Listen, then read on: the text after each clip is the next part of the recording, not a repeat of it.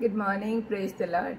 Today, July 7th, uh, we'll talk about uh, the fact that God is in control of everything. We should know that. 1 Kings 17:4 it's written, I have commanded the ravens to feed there. Lord said these words to prophet Elijah when he commanded Elijah to go and hide by the brook of Cherith. Accordingly, the ravens brought him bread and meat both in the morning and in the evening. The crows are considered to be dirty and unholy birds which have the habit of stealing food.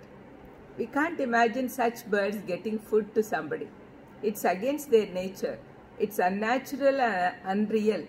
But when God is in control, He makes everything possible. The whole creation is under His control. In Psalm 1, 103, 19 verse, David says, The Lord has established his throne in heaven and his kingdom rules over all. Every creation should obey him, whether it's birds or plants or uh, whatever, and uh, animals and um, animals in the water, and uh, especially we, the created beings. A very poor woman with a small family called into a radio station asking for help from God. A non-believer man who was also listening to this radio program decided to make fun of the woman.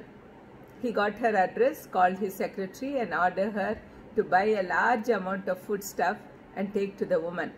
However, uh, he sent it with the following instruction. When the woman asks who sent the food, tell her that it's from the devil. Let's see what happens. It was late afternoon when the secretary arrived at the woman's house bringing all the food stuff. The woman was so happy and grateful for the help that had been received. Then the secretary asked, Don't you want to know who sent the food? The woman replied, No, just saying thanks to whomever sent this is enough. I don't care who the person is because I know when God orders, even the devil obeys. The secretary was shocked. She was puzzled. She didn't know what to say. The Satan was also God's creation and later was thrown out of heaven due to his pride. He knows the sovereignty and greatness of God and so shivers when confronted and obeys his words when ordered. So we need not be afraid. Especially in these uh, present COVID conditions, everyone all around the world are so frightened that even the believers are failing in their faith. Please remember that God is in control and nothing happens to us without His permission. Let's pray. Please help us to remember your sovereignty and depend on you completely, Lord. Please help us to remember that you are in control of everything. In Jesus' precious name I ask. Amen. Amen. God bless you.